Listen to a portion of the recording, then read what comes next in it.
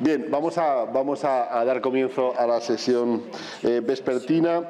Eh, lo vamos a hacer con, Sir John Layton, eh, que tiene una doble formación en Bellas Artes y en Historia del Arte, que fue profesor de la Universidad de Edimburgo hasta que se unió a la National Gallery en 1986 de Londres como conservador de la pintura del siglo XIX, que de hecho es su mayor especialidad, ¿no? y donde hizo exposiciones pues, tan importantes como de la Caspar David Friedrich o eh, Art in the Making Impressionism. Eh, ha sido director del Museo Van Gogh en Ámsterdam desde 1997 al año 2006, eh, cuando asumió la dirección de la National Gallery de Scotland y nos va a hablar hoy sobre arte para Escocia, inspiración para el mundo, el futuro de las National Galleries of Scotland. John.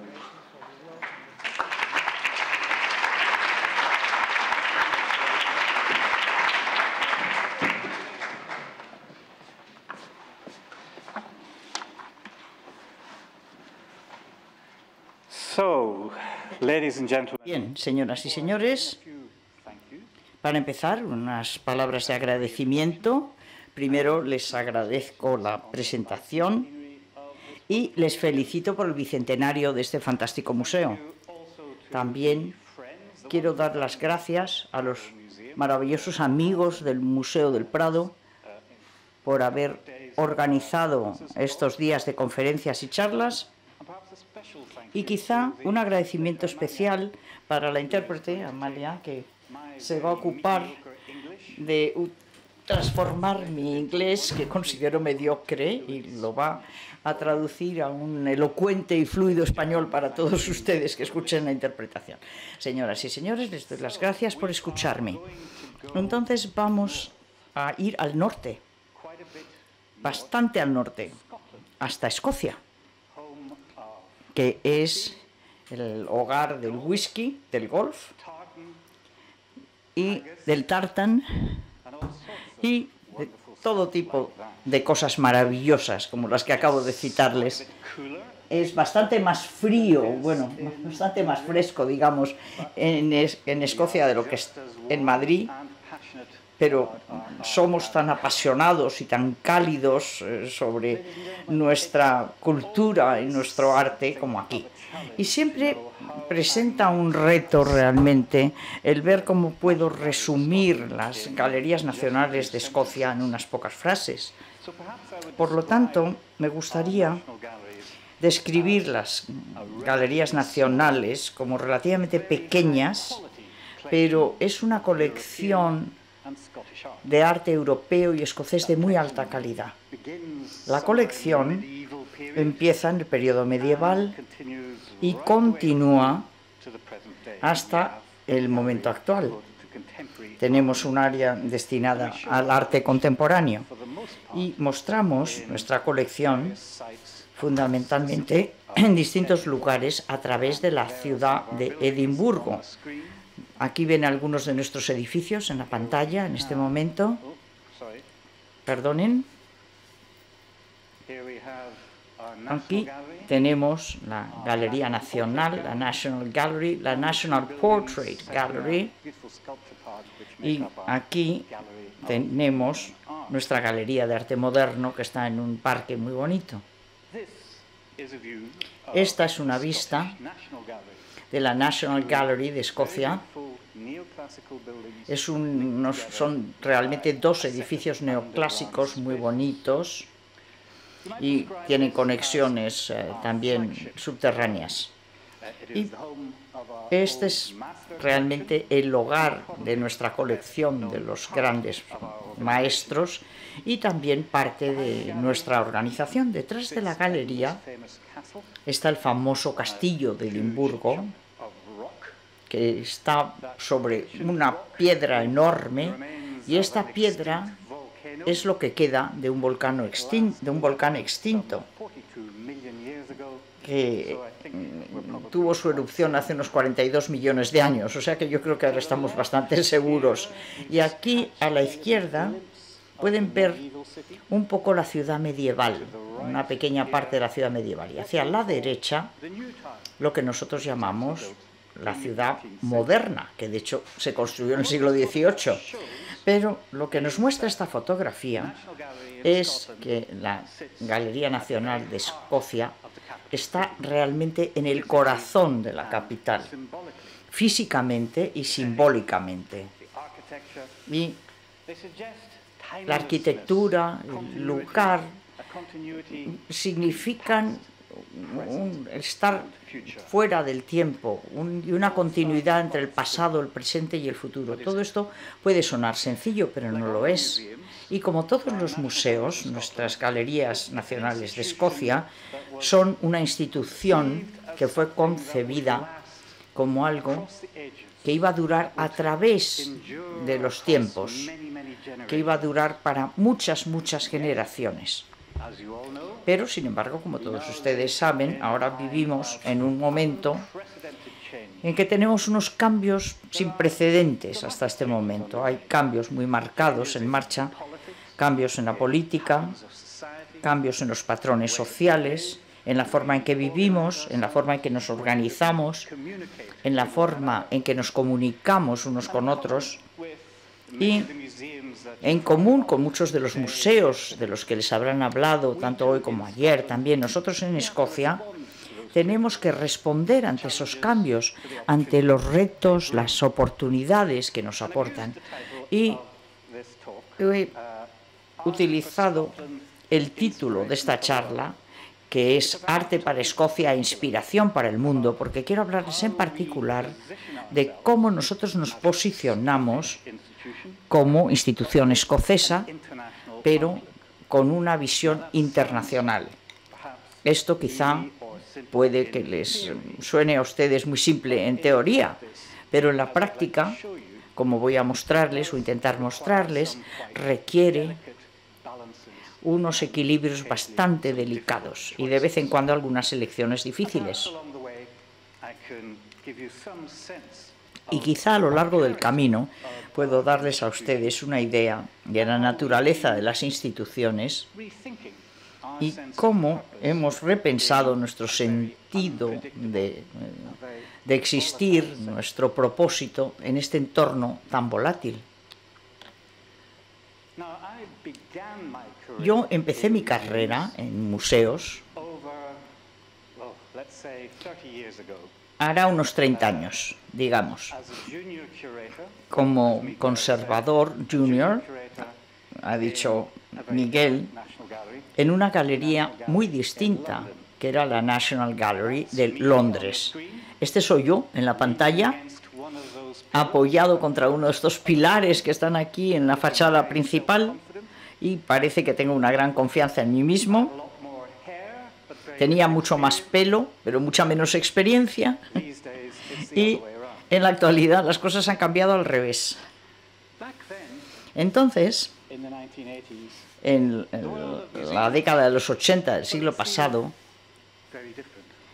los eh, museos no parecían muy distintos. En la National Gallery, la atmósfera era bastante suave, académica, agradable tenía un sentido de que no había cambiado gran cosa en el curso de los años y que además no iba a cambiar tampoco mucho en, los, en las décadas venideras. Yo recuerdo que no mucho tiempo después de que comenzara yo a trabajar en la National Gallery, hubo una encuesta en los periódicos que preguntaba cuáles eran las profesiones con más y con menos estrés. Y ser conservador de un museo aparentemente era la ocupación que producía menos estrés. O quizá bibliotecario en una biblioteca de provincia. Pero yo creo que ahora no parece que las cosas sigan siendo así. Y en mi primer día en la National Gallery me enseñaron una oficina y en esa oficina había un lit de repos, una chaise longue muy bonita, y dije, ¿y eso para qué es? Y me dijeron, allí es donde su predecesor echaba la siesta, cuando volvía de almorzar en su club. Entonces Gabriele Finaldi me va a perdonar por exagerar un poco, pero esta era la atmósfera, pero como lo han oído ahora, las cosas han cambiado mucho y ciertamente también son muy distintas en las galerías nacionales de, Escocia. Y si avanzamos rápidamente hasta el día de hoy, la atmósfera, como verán ustedes, ha cambiado muchísimo. Y uno de los cambios más obvios, de los que habrán oído hablar en los últimos días, es el nivel de interés y el número de visitantes que entran por las puertas de todos los museos nacionales y de todas las galerías de arte. Y ahí no hay ninguna excepción. En las galerías nacionales de Escocia, nuestras cifras de visitantes se han duplicado a lo largo de los últimos diez años. Y esto lo digo un poco en broma, pero no he podido resistir enseñarles el interior. En el 1860 este fue un cuadro abajo, como dos años después de que se abriera la galería, y verán ustedes lo sereno, lo apacible que todo parece. Hay una guarda leyendo un libro y dos señoras haciendo copias de los cuadros y probablemente verán otro señor con un sombrero escocés que, está, que es también un copista, que está copiando otro cuadro. Esta escena no la verían ustedes hoy. Y como en muchos otros museos, tenemos colas en la puerta, tenemos masas humanas delante de las obras más famosas. El año pasado dimos la bienvenida a 2,7 millones de visitantes. 2,7 millones. Si piensan ustedes que Edimburgo no tiene más que medio millón de residentes, les da a ustedes una idea de la escala. Las eh, audiencias han crecido, pero también han crecido las expectaciones de lo que ofrecemos a los visitantes de todos los grupos de edad. Evidentemente es habitual para todo tipo de museos ofrecer programas educativos y esto es algo que ya ha existido desde hace muchos años y parece que el de la izquierda allí hay niños que están disfrutando de su creatividad y esto se puede encontrar en cualquier lugar del mundo.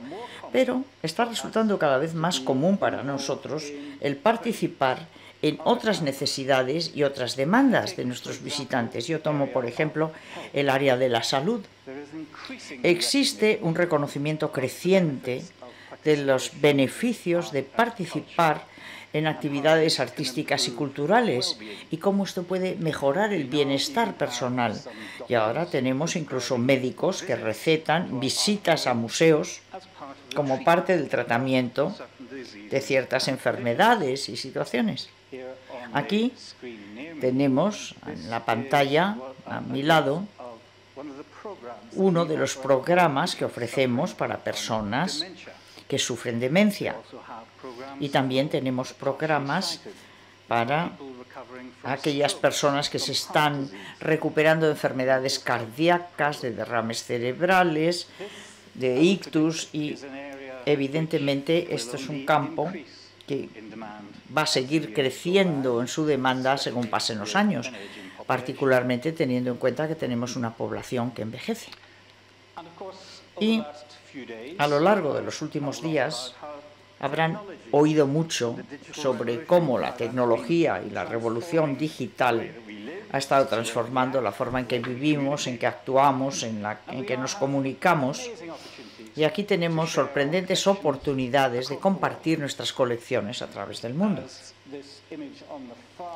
Y aquí, como vemos en la imagen de la izquierda, también hay cosas relativas a esto, y es que estos niños están sentados delante de uno de los cuadros más famosos del mundo, que es la Guardia Nocturna de Rembrandt. ¿Y qué están haciendo? Pues están viendo sus teléfonos, están mirando sus pantallitas.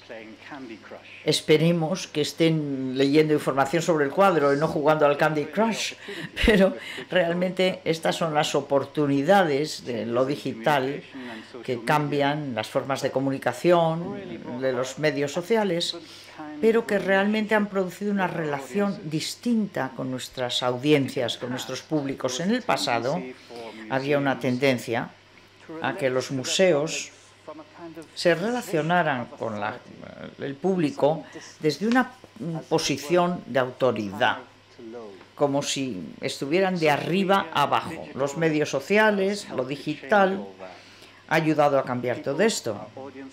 Y la gente, nuestro público, esperan ahora un tipo de relación distinta. Lo que quieren es poder participar, poder influir, incluso poder co-crear con los conservadores de los museos de formas que hubieran sido inimaginables hace tan solo 10 años.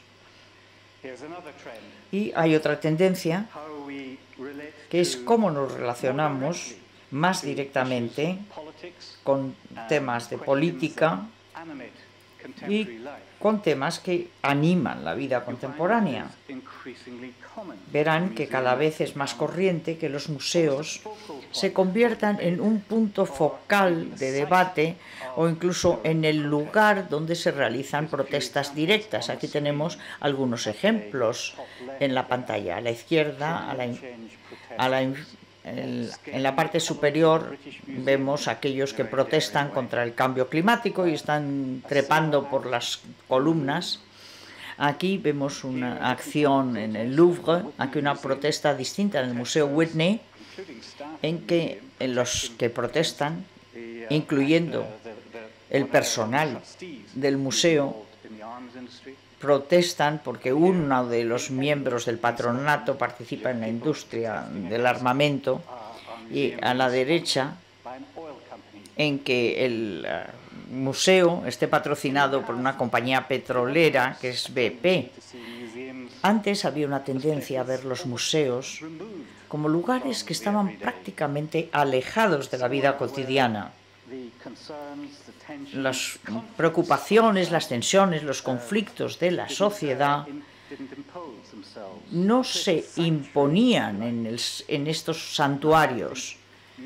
Y hoy en día los museos son más bien vistos como espacios sociales dinámicos y como emblemas del significado cultural y simbólico. Y por lo tanto no es sorprendente que a veces entramos en controversias, a veces de manera voluntaria y a veces involuntaria. Y ayer escuché hablar de cómo un museo se enfrentó a esto de una forma bastante interesante. El Museo Victoria and Albert en Londres, recordarán ustedes que hace unos meses, en el mes de mayo, un grupo que se llamaba Extinction Rebellion o Rebelión de Extinción bloquearon varios puentes en Londres, crearon un gran caos de tráfico. Y ayer oí que el Museo Victoria and Albert ha adquirido algunas de sus banderas y algunas de sus obras de arte para incluirlo en la colección, o sea que esto forma parte de la vida contemporánea. Entonces, todos estos factores, nueva tecnología, mayores públicos, mayor politización y mayor polaridad, todo esto está impulsando la transformación y creando posibilidades y retos para nosotros en el mundo de los museos. Y en el entorno de Escocia, el contexto político y social también ha cambiado de forma muy marcada en los últimos diez años. Y parece que es particularmente imprevisible. Como ustedes sabrán, la política en el Reino Unido es, no sé cómo definirla, fluida. Y ciertamente está dividida en el momento actual, según vamos atravesando por este doloroso proceso del Brexit. En Escocia, los lazos históricos con Europa, con la tierra firme, nosotros lo llamamos la tierra firme europea, nosotros somos los que estamos en una isla, entonces los lazos con Europa han sido siempre muy firmes y se han fortalecido a través del comercio, las migraciones, las alianzas políticas a lo largo de los siglos y una gran mayoría de la población en Escocia prefiere permanecer en la Unión Europea O sea que la posibilidad del Brexit, la posibilidad de abandonar la Unión Europea, es algo que ha acalorado los debates en cuanto a la independencia de Escocia y si no debiera separarse del Reino Unido. Y esto ha sido un tema que se supone que había quedado resuelto para una generación a través del referéndum que tuvimos en el año 2014, pero que ahora, debido al Brexit, ha vuelto a ser incorporado firmemente al orden del día. Y en la pantalla ven ustedes los dos aspectos, el sí para abandonar el Reino Unido y el no, y ambos vociferan de la misma manera. El mundo de la cultura, el mundo del arte, no puede eludir estos debates. En las galerías nacionales hemos pensado mucho sobre todo esto, sobre temas de identidad nacional y qué es lo que significan para nosotros, qué significa para nosotros una institución nacional en Escocia en la actualidad. Vivimos en un país donde los temas de identidad son debatidos, se prestan a controversia. ¿Qué hacemos? ¿Lo ignoramos simplemente o lo reflejamos en nuestra colección, nuestros programas, nuestras actividades? ¿Y cómo podemos navegar a través de esta volatilidad que acabo de describirles? Bueno, dentro de un momento les voy a hablar un poco más sobre cómo hemos estado cambiando nuestra postura, nuestro perfil. Pero antes de que lo haga así, quizá quisiera darles un poco de antecedentes o de contexto que podría servirles de ayuda.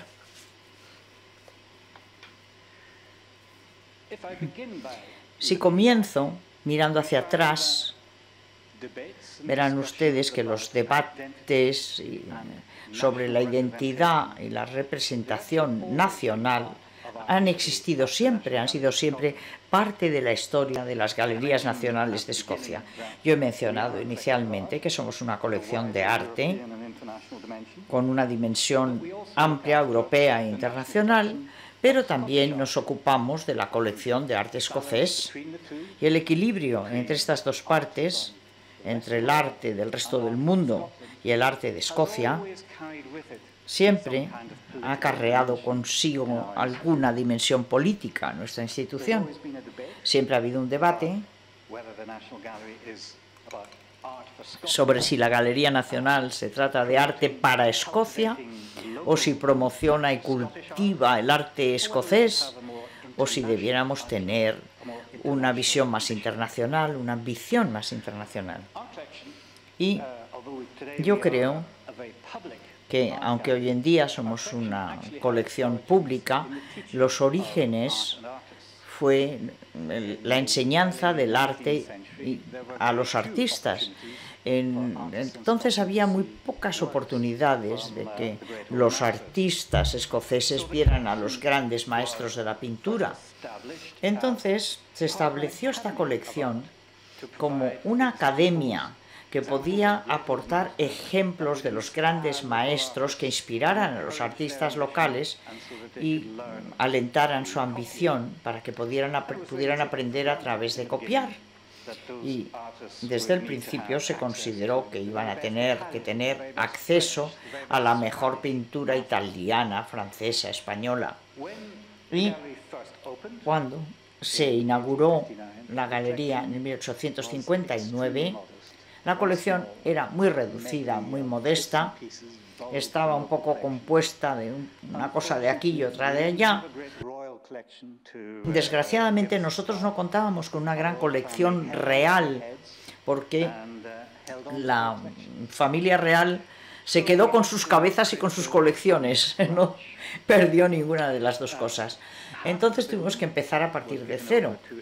Y entonces parte del edificio se dedicó a dos exposiciones y el resto a esta otra colección surtida y variada.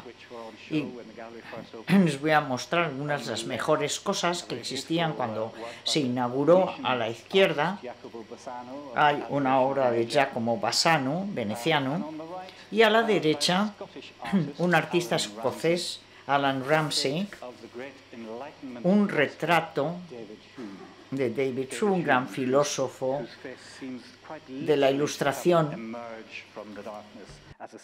que en este cuadro parece que de verdad emerge de la oscuridad, de las tinieblas, como una figura de, de la iluminación.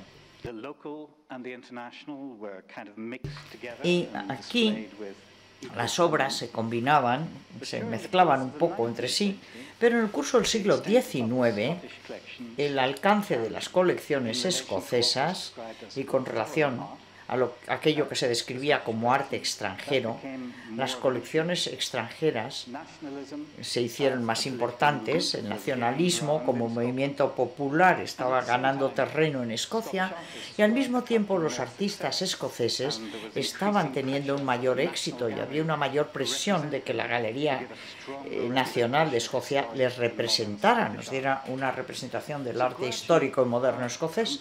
Entonces gradualmente el arte de Escocia se convirtió en el centro de atención principal de la galería. Aquí ven dos excelentes ejemplos. A la izquierda tenemos el, el, retrato en tamaño natural de un jefe de las tierras altas, de los uh, Highlands, y este fue pintado alrededor del 1815. Y incluso entonces la gente no se paseaba vestida así pero esto es una visión romántica de lo que eran los eh, jefes de las tierras altas. Y aquí tenemos una evocación de los Highlands a la derecha por un artista llamado Peter Green que se llama Las sombras que se mueven, las sombras que se desplazan. Evidentemente no estaba impulsado solo por la cultura y la política, sino también por una serie de razones bastante eh, terrenales, porque no había dinero y los precios para comprar los grandes maestros europeos significaban que entonces la Galería Nacional tenía que abandonar la, o la posibilidad de poseer ninguno de estos cuadros, tenía que abandonar semejante empeño y centrarse más bien en la producción nacional. Hacia finales del siglo XIX, la creación de una galería de retratos escocesa llevó al debate sobre el arte y la identidad nacional. Y parece que es una preocupación particularmente británica el crear galerías de retratos, galerías dedicadas a retratos de hombres y mujeres que habían logrado logros en el siglo XIX y en el siglo XX se abrieron estas galerías en Londres, en Dublín, en Edimburgo y en sus países de influencia, Canadá, Estados Unidos y Australia. Y la idea que tiene sus orígenes en las ideas victorianas de la moralidad, como Thomas Carlyle, la idea era simplemente que el público debiera conocer y reconocer ejemplos de grandes logros, con la esperanza de que esto les inspiraría para que ellos se mejoraran a sí mismos y creciera sus crecieran sus expectativas. En todo caso, la galería de retratos escocesa se convirtió en un punto focal para el orgullo nacional y la identidad, un lugar donde los héroes y heroínas del pasado podían ser celebrados a través de sus retratos. Pero el exterior del edificio, que ven ustedes en el lado izquierdo, tenía una especie de estilo gótico nórdico poco habitual eh, para Edimburgo porque normalmente se utilizaba más el neoclásico, a veces eh, Edimburgo se llamó la Atenas del Norte. Entonces aquí teníamos este estilo gótico decorado con esculturas en la parte exterior de grandes héroes, de Mary, la reina de los escoceses, y dentro también murales que reflejaban momentos gloriosos de la historia escocesa, fundamentalmente eh, victorias eh, sobre los ingleses, pero eran pocas y bastante distanciadas. La derecha puede que vean ustedes a nuestro gran poeta nacional Robert Burns. Y a finales del siglo XIX teníamos ya dos galerías en Edimburgo y ambas con una carácter escocés muy claro, muy definido. En el siglo XX todo esto empezó a cambiar y el péndulo se fue al otro extremo, hacia una visión distinta. Y hubo varios motivos para esto.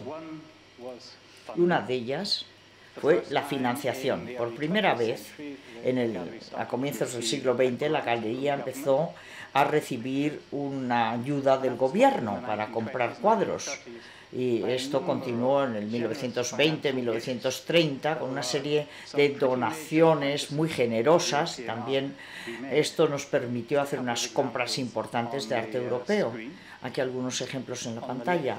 A la izquierda, si estaban ustedes aquí esta mañana, habrían visto que Laurence Descartes mostraba es, un cuadro de Emile Bernard de mujeres en una pradera y mencionó este cuadro de Paul Gauguin que se llama Visión después del sermón que realmente era una obra fenomenal, una obra clave en el desarrollo de su estilo menos naturalista.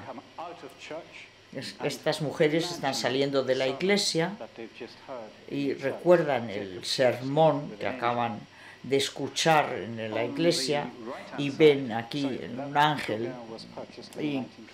Este Gauguin fue comprado en la década de los 20 y el cuadro de la derecha es de, de eh, y es simplemente un cuadro con flores, pero una vez más, este se pudo comprar con el dinero que daba el gobierno en 1920. Entonces la galería empezó a crecer, pero después de la Segunda Guerra Mundial llegó algo que realmente cambió el estado de la colección. Y eso fue el, el préstamo del duque de Bridgewater de algunos de los cuadros más famosos que tenía en la colección Bridgewater. La colección Bridgewater fue formada por el primer duque de Bridgewater a finales del siglo XVIII y él pudo comprar obras que se vendían durante la Revolución Francesa en Londres y más que nada de la colección de Orléans y compró muchas obras de grandes maestros que se exhibieron durante gran parte del siglo XIX y el XX en Bridgewater House en Londres donde había una colección muy importante, pero durante la guerra ardió Bridgewater House y fue parcialmente destruida. Y entonces el rey bueno, eh, trasladó a este duque a, Escocia, le ayudó a trasladarse a Escocia, volvió después de haber participado como héroe de guerra y ofreció su colección como préstamo a la Galería Nacional de Escocia. Y este grupo de cuadros llegaron a la Galería de Edimburgo. Unas 30 obras que incluyen obras de Rafael, una obra de, unas obras de Poussin, un retrato de Rembrandt, obras de Tiziano, incluyendo estos dos cuadros muy bien conocidos de uh, Diana en el, lado de la izquierda y Diana y Calisto en, más cerca de mí, y ambos fueron pintados por encargo de Felipe II y también parte de una serie que ustedes tienen aquí, mm, parte de la serie, que es Venus y Adonis, y estos cuadros de la colección Bridgewater siguen estando prestados a nuestra galería. Y estos dos hemos conseguido comprarlos a unos dos años junto con la National Gallery en Londres, pero muchos otros siguen formando parte de esta cesión, de este préstamo, pero no podemos llegar a definir lo que esto representó para el cambio de estatus de la galería. Según avanzó el siglo XX, hubo otros cambios y después de la guerra se pensó que era importante para Gran Bretaña y para Escocia tener puentes culturales, restablecer conexiones internacionales y uno de los resultados de esa política fue que se fundó el, Festival de Edimburgo, que empezó en el 1947. Ahora es el mayor festival de arte de cualquier lugar del mundo. Cientos de miles de visitantes vienen anualmente para disfrutar de una serie de actuaciones verdaderamente maravillosas en todos los campos de las artes. Si ustedes nunca han asistido, se lo recomiendo como experiencia. Todos los espacios de la ciudad se convierten en un lugar donde hay un café, un bar, un teatro, una, una escuela, yo qué sé, todo se convierte en la base para el, para el arte.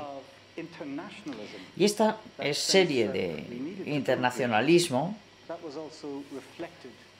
se reflejaba también en las colecciones y hubiera parecido un poco mm, eh, cerrado y provinciano concentrarnos únicamente en la Escuela Nacional de Arte escocés y por lo tanto gradualmente la importancia de nuestras colecciones escocesas fue disminuyendo y entonces esto resultó particularmente aparente cuando se rehabilitó toda la galería en la década de los 80. En la parte superior de la pantalla pueden ustedes ver cómo eran las galerías del piso principal que estaban presentadas con estos colores muy ricos de la seda del fondo, había mucho espacio, mucha luz diurna. Esta era la escuela europea y las colecciones escocesas fueron relegadas al sótano, que estaba por debajo y que era una zona bastante oscura, húmeda, sin salida, a la que llegaba una pequeña proporción de nuestros visitantes. Por lo tanto, gradualmente las eh, colecciones fueron conocidas por sus maravillosos artistas dentro de las obras de los grandes maestros y en cambio las eh, eh, exposiciones de arte escocés pues quedaron un poco abandonadas menos de la mitad de las salas estaban abiertas al público, por ejemplo. Y mientras tanto, la política alrededor de las galerías estaba cambiando. En el 2007, Escocia eligió su primer gobierno nacionalista escocés y hubo un sentido creciente de que nosotros, en las galerías nacionales, no estábamos en el a tono del ambiente que prevalecía en ese momento. Entonces pensamos, ¿cómo podemos encontrar un mejor equilibrio entre la identidad escocesa nuestra visión internacional, cómo damos una mayor prominencia a estas colecciones nacionales sin hacernos abiertamente políticos ni cerrarnos sobre nosotros mismos. Y entonces empezamos por una rehabilitación total de la Galería Nacional de Retratos, la Portrait Gallery. Físicamente el edificio fue restaurado y rehabilitado totalmente y aquí les enseño un poco el antes y después. A la izquierda, una de las grandes galerías. Y ven ustedes que no estaba muy bien organizada. Y aquí a la derecha, después de la rehabilitación. Y todo el edificio fue reconfigurado para públicos del siglo XXI. Las colecciones fueron eh, revisadas reposicionadas y hubo muchas eh, exposiciones históricas reflejando personajes importantes de la historia de Escocia y utilizando los retratos para explicar el pasado de, la historia de Escocia. A la, a la, izquierda tenemos a Mary, la reina de los escoceses, arriba Prince Charlie. Y abajo nuestro poeta nacional Robert Burns y todos ellos eh, se supondría que tenían que estar en una galería de retratos nacional. Pero también creamos lo que considerábamos la posibilidad de celebrar todos los aspectos de la vida cotidiana en Escocia. Y esto incluiría los héroes modernos. Aquí a la izquierda, un retrato de un, por un artista escocés de tres especialistas en cáncer muy importantes que han hecho importantes descubrimientos en la Universidad de Dundee, que están a la cabeza de la investigación médica. Todas estas imágenes pueden ser también de personas no heroicas. Aquí a la derecha tenemos una imagen de algunos niños anónimos en una, viviendas en una parte de alojamiento social en Glasgow. Y todo esto para darle una nueva vida a la galería de retratos, para darle una vida contemporánea, un lugar donde podemos, podemos encontrar a escoceses eh, famosos, pero también a personas corrientes en entornos ordinarios. Pero siempre tratábamos de trabajar para mostrar que no había única, una idea única, unívoca de la identidad nacional, sino que podía ser compleja con múltiples facetas y capas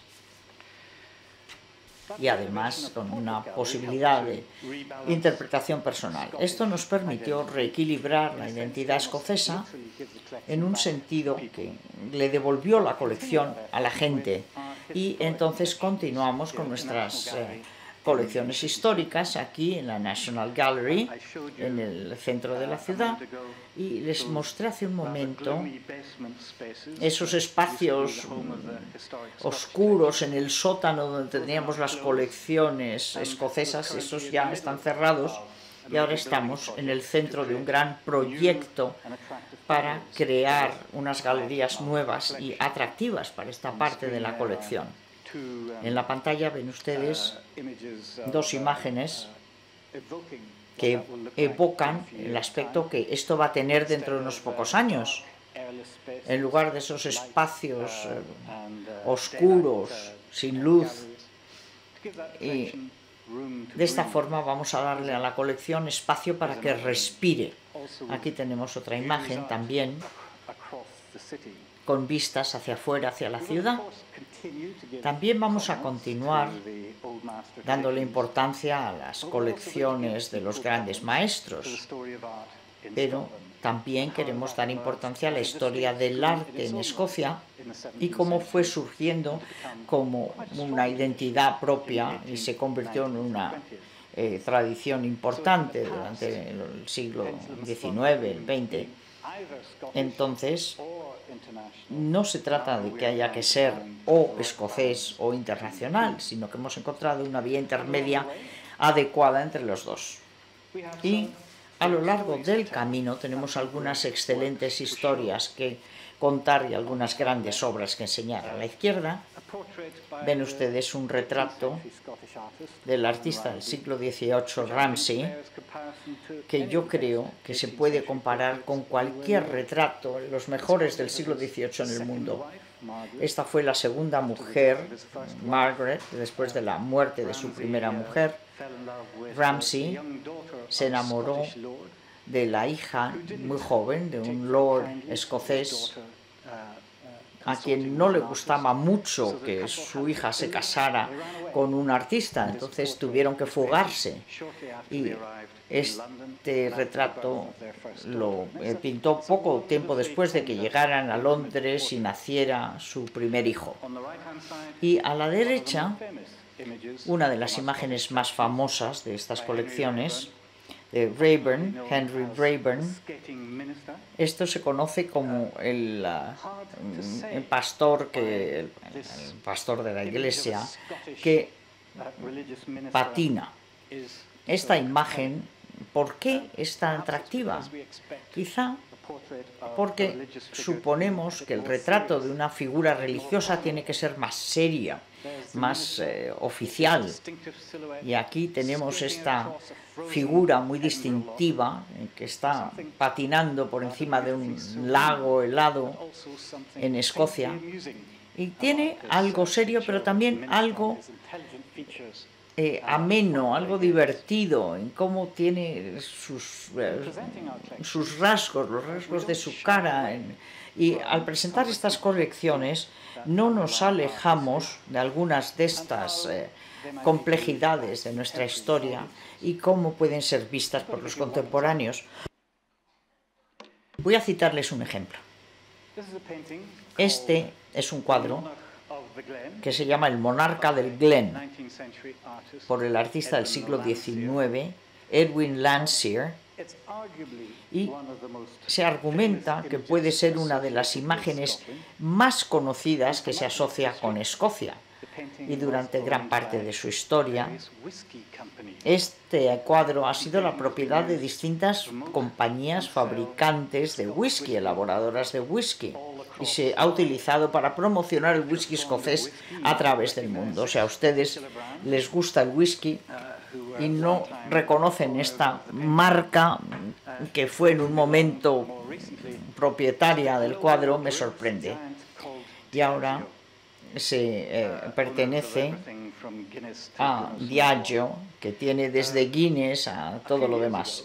Y hace unos pocos años, la compañía Diageo decidió que el monarca del Glen ya no encajaba con la marca de la compañía y lo pusieron a la venta.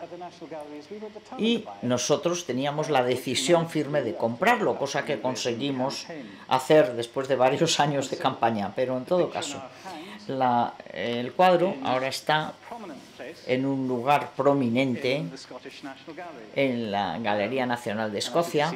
y como pueden ustedes ver, los niños lo pasan muy bien poniéndose sus eh, propios cuernos en sus cabezas delante del cuadro. Y durante mucho tiempo se ha considerado como una imagen, pero es bastante ambiguo para, aunque para los turistas es un poco, yo que sé, una imagen romántica de las tierras altas escocesas. Aquí por detrás vemos exactamente el tipo de imagen que atrae a la gente al paisaje escocés y al campo escocés. Para muchas de las personas que viven en Escocia, sin embargo, es una imagen que tiene toda una serie de asociaciones distintas. El artista, Landseer, no era escocés, era inglés, y este cuadro lo pintó para la Cámara de los Lores en Londres. Y esto porque era el pintor favorito de la reina Victoria.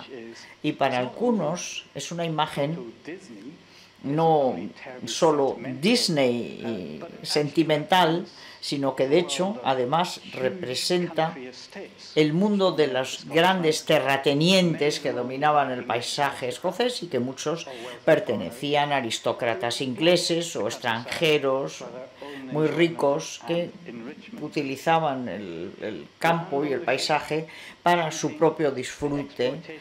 Había la explotación de la tierra, la caza, todo esto son temas que se prestan a enorme controversia, controversia en Escocia. Entonces, esto que es una imagen aparentemente inocente de un animal tiene distintos niveles de interpretación, pero nosotros no pretendemos alejarnos de eso, sino que queremos precisamente que se convierta en un foco del debate. Y cuando pensamos en nuestra identidad como Galería Nacional en Escocia, no nos hemos centrado únicamente en la capital, en Edimburgo, sino que sabemos que para muchas personas las galerías de arte resultan un poco lugares intimidantes. Y además están construidas para evocar los templos del arte. Hay que subir las escaleras, pasar a través de las columnas.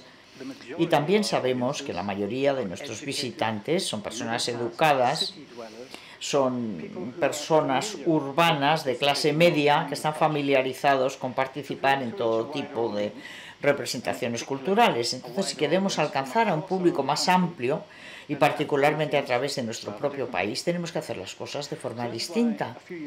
Y por eso hace unos años encontramos el concepto de lo que empezamos a llamar una galería sin paredes, sin muros. Nuestras mm, maravillosas galerías de Edimburgo van a seguir siendo una base para nuestras actividades, pero vamos a sacar el arte hacia ellos, hacia la sociedad y hacia el mundo en general. Entonces empezamos con un programa muy extenso de compartir nuestra eh, colección a través de exposiciones, de préstamos, y una parte significativa de esa colección es una parte que hemos reunido junto con la Tate en Londres. Y conseguimos adquirir conjuntamente una gran colección de arte moderno y contemporáneo. era propiedad de Anthony Doffé, que era coleccionista y además eh, tratante de arte también y tiene desde Andy Warhol hasta Damien Hirst, Jeff Koons, Bourgeois, Alex Katz, que vieron también esta mañana.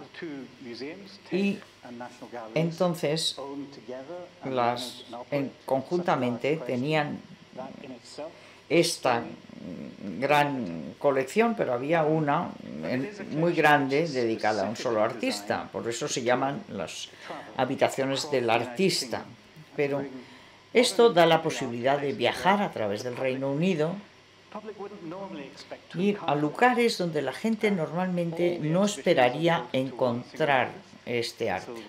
Las exposiciones se dedican a un solo artista, por lo tanto se llaman las salas del artista y hay unos programas de tours para hacerlo.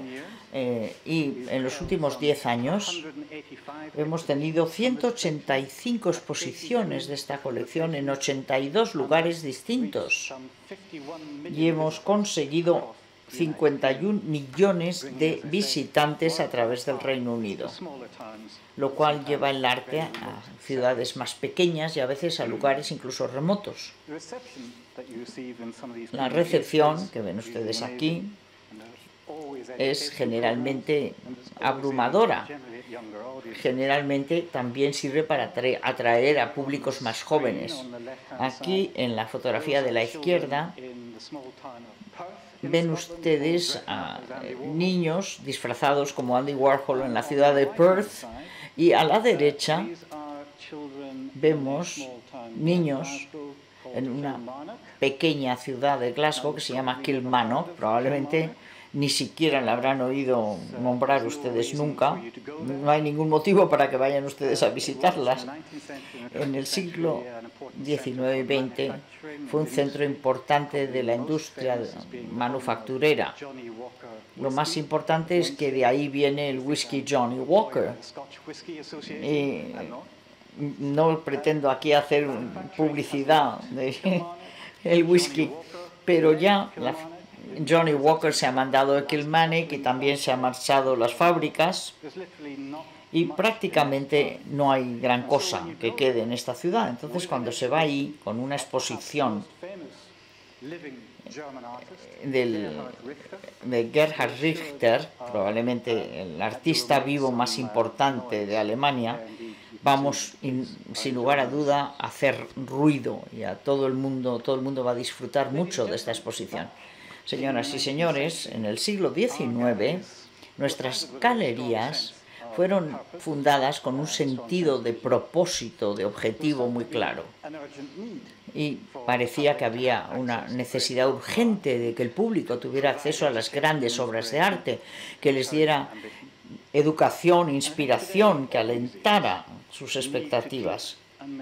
Evidentemente tenemos que mantener un sentido de propósito en la actualidad también y para nosotros en Escocia esto ha significado cambiar de una actitud pasiva a una activa para relacionarnos con nuestro público, reconectar con la identidad nacional, pero sin perder una visión más amplia ha incluido el replantear nuestros edificios, nuestra arquitectura, nuestros programas, nuestras exposiciones y también el compartir más ampliamente nuestra colección a través del país para alentar más una sensación de participación y de estar en algo que es nuestro. Y esto se conecta con una experiencia interesante. El año pasado pusimos este cuadro de Landseer en un transporte especial y lo llevamos a las escuelas de primaria para que los niños pudieran salir y verlo en, su en sus propias escuelas y disfrutarlo durante unas dos horas. Y lo disfrutaron. Yo no puedo predecir qué es lo que nos va a aportar el futuro a Escocia como país. Puede que Escocia siga siendo parte del Reino Unido, puede que la bandera, la Union Jack, siga eh, izada por encima de la, galería al lado de la bandera escocesa, o puede que Escocia se convierta en un país independiente, no lo sé. Pero ocurra lo que ocurra, va a ser importante para nosotros equilibrar el orgullo en nuestras propias colecciones con también nuestro conocimiento de las de otros y tenemos que participar con todas las comunidades. Y es importante que animemos a la gente para que exploren su propio sentido de identidad, para que encuentren qué es lo que les inspira, qué es lo que les emociona y qué es lo que les conecta con otras personas. Yo creo que equilibrar los intereses nacionales con la perspectiva internacional va a continuar siendo un reto para nosotros, pero vamos a seguir buscando un equilibrio adecuado. Y este es el motivo por el cual tenemos nuestra visión y por eso lo he llamado esto arte para Escocia e inspiración para el mundo.